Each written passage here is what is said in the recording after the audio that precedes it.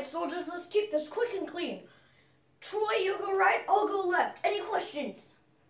That's not a question, Officer Tardent. Let's go.